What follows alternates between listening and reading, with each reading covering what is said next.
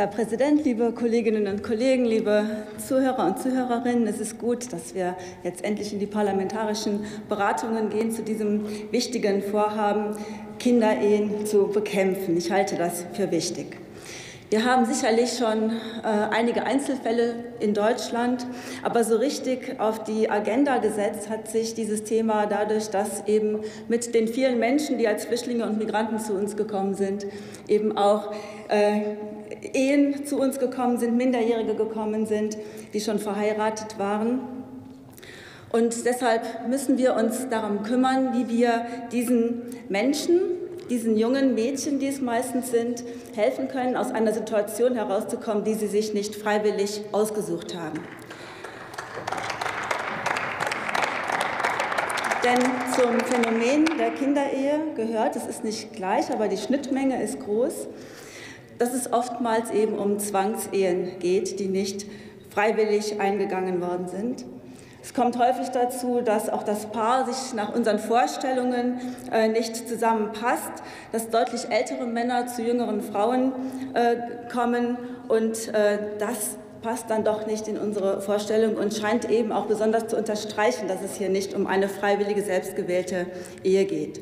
Nun mag in manchen Stellen der Grund gewesen sein, dass man auch auf der Flucht den Schutz vor Übergriffen hatte. Aber ich denke, das macht sich besser. Und gerade in dem Beispiel, das Sie genannt haben, Herr Kollege Petzold, finde ich, dass ein Onkel seiner Nichte auch dann Schutz gewähren kann, wenn es nicht auch gleichzeitig noch eine Ehe zwischen Verwandten gibt.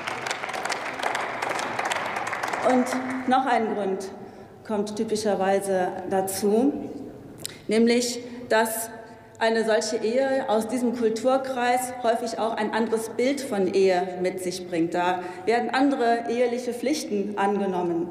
Und wir haben hier im letzten Jahr zu den Fragen, was gibt es für eheliche Pflichten, sehr ausführlich gesprochen unter dem Schlagwort Nein heißt Nein haben wir hier sehr eindeutig und sehr einig klargestellt, dass auch eine Ehe kein Recht gibt zu sexuellen Übergriffen. Und die Ehen, mit denen wir es in diesem Zusammenhang zu tun haben, die haben da häufig auch ein anderes Bild von Ehe und auch deshalb müssen wir hier eingreifen und können das so nicht hingeben. Solche Ehen sind für uns aus zwei Gründen nicht tragbar. Sie sind mit unseren Werten nicht vereinbar. Mit unseren Vorstellungen von Gleichberechtigung, von Selbstbestimmung, von Schutz des Kindes, von freier Entfaltung, vom Bild der Ehe, das bei uns darauf beruht, dass da zwei Menschen freiwillig und aus Zuneigung zueinander diese Ehe eingehen. Es geht darum, klarzumachen, was bei uns geht und was eben nicht geht. Noch wichtiger ist aber, dass wir für die Mädchen diese Situation beenden, diese unerträgliche Situation. Und deshalb schaffen wir zum einen eine sichere Rechtsgrundlage dafür, dass das Jugendamt sehr schnell und beherzt eingreifen kann.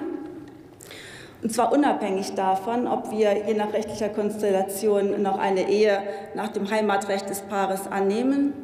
Und der zweite Punkt ist, wir schaffen eben die rechtliche Grundlage dafür, diese Ehen zu beenden. Es gab eine lebhafte Diskussion darum bisher, welche rechtliche Konstruktion da die bessere ist, die Annahme der Nichtigkeit oder die Aufhebung im Einzelfall. Das ist der Streitpunkt. Und den einen erscheint die Nichtigkeit richtig. Ich glaube, da spielt häufig eine Rolle, dass man denkt, das ist noch das stärkere Verdikt. Das ist noch das stärkere Unwerturteil zu sagen, das ist null und nichtig.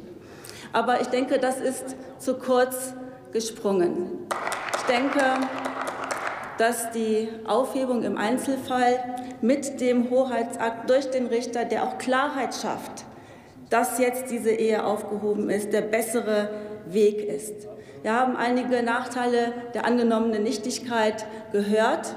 Sie schafft eben Unsicherheit für die Kinder. Es, es gibt keine Behörde, die mal verbindlich feststellt, was jetzt gibt und dergleichen mehr. Im Vergleich dazu eben die Aufhebbarkeit, die eben auch Platz lässt für Einzelfallentscheidungen.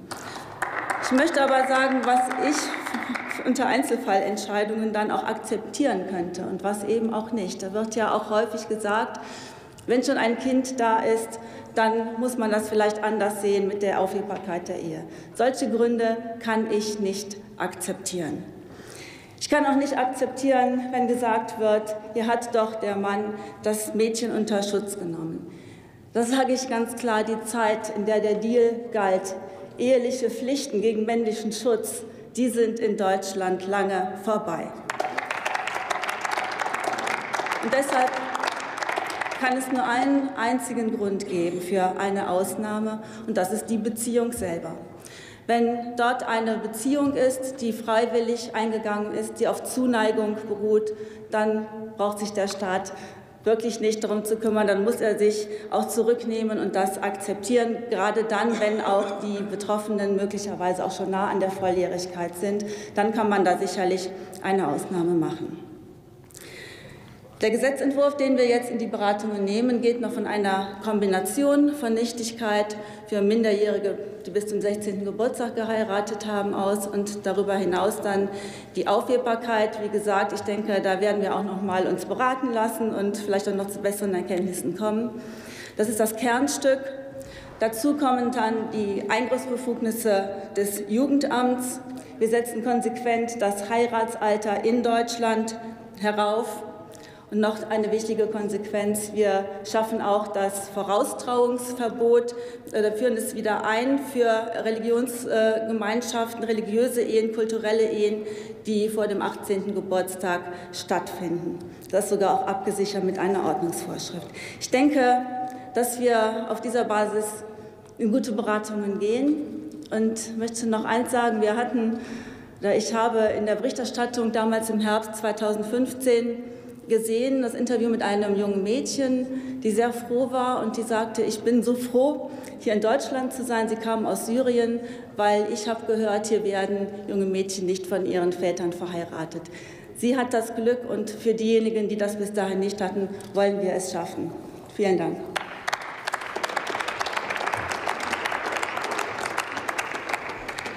Der Kollege Dr. Fritz Felgentreu spricht jetzt für die SPD.